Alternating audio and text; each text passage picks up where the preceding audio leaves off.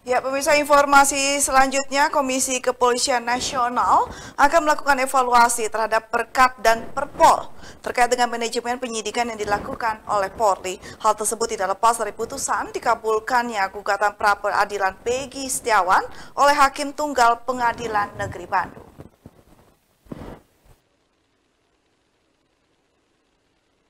Pasca putusan dikabulkannya gugatan pra-peradilan Peggy Setiawan oleh Pengadilan Negeri Bandung Senin siang kemarin, Komisi Kepolisian Nasional Kompolnas akan melakukan evaluasi terhadap Polri. Hal tersebut dikatakan Ketua Harian Kompolnas Benny Joshua Mamoto saat menggelar press release di Mapolda Jabar Senin sore. Evaluasi akan dilakukan terhadap Perkap dan Perpol terkait manajemen penyidikan yang selama ini dilakukan Polri. Kasus Peggy Setiawan menjadi salah satu pertimbangan yang dimiliki Kompolnas selama mengikuti jalannya kasus Peggy Setiawan ini. Rekan-rekan media, Kompolnas selaku pengawas eksternal Polri sejak awal kasus ini dilakukan penyidikan, kami mengawal terus.